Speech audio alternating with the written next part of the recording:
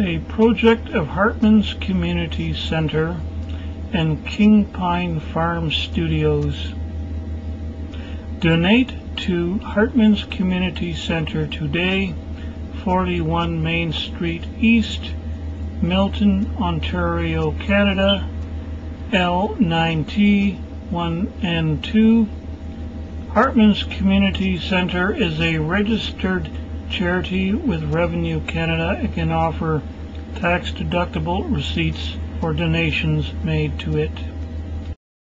Separated wife had accused me of being a loser shrimp with no balls, and she had gotten custody of our child, our daughter. So when she went to Afghanistan and became a hero and sent me the divorce papers, I realized I had to act or I would lose all access to my daughter. So I participated in the Lotto Drac, which gave me the opportunity to be temporarily turned into a dragon and to use my new wings to fly my daughter around or some loved one and provide them with entertainment for the day.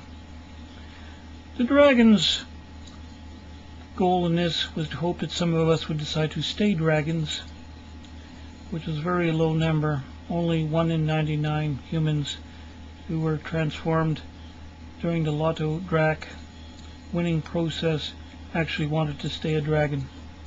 However, I won the lottery, and so I took my daughter to the Eyrie, where the dragons were staying to help us in our new forms. I was afraid to actually to be turned into a dragon, especially when I saw that the dragoness would be doing the transforming, the quickening, was a Madame Elucia, who would be turning me into her form, which meant that I would quite literally be turned into a creature with no balls, although I certainly wouldn't be a shrimp anymore for that day. So I convinced Madame Elucia to have one of the other dragons take my daughter up for the ride while I could stay safely below.